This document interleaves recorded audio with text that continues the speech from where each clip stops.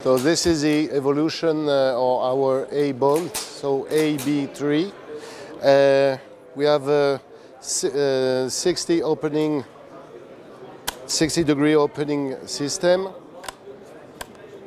So we have uh, our drop box magazine.